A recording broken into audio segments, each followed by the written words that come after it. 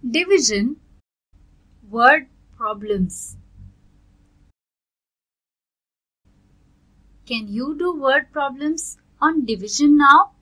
Let's try a few. Some books were made from 10,053 sheets of paper.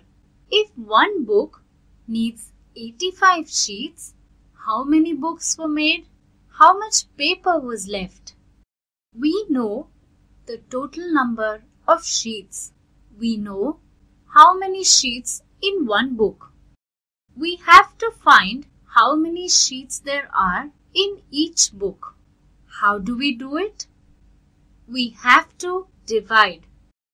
We divide total sheets by the sheets per book. That gives us the total books. So, let us write the division statement now. 10,053 divided by 85.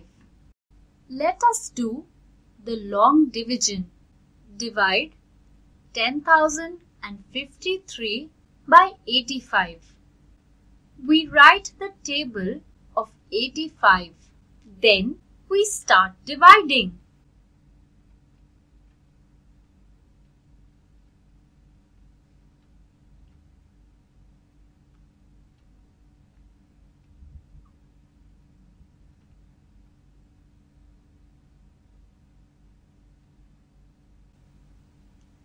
The quotient is the number of books that were made. The remainder is the sheets left over. Let us bring the answers here. So, the books made were 118, which is the quotient. The sheets left are 23, which is the remainder. Let us try one more which number should be multiplied to 52 to get 63,960. We know 52 into something is 63,960. So, we need to find out what that is. That means that something is actually 63,960 divided by 52. The quotient will give us our answer. Let us do the long division.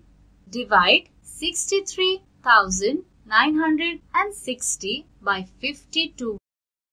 We write the table of 52. Then we start dividing.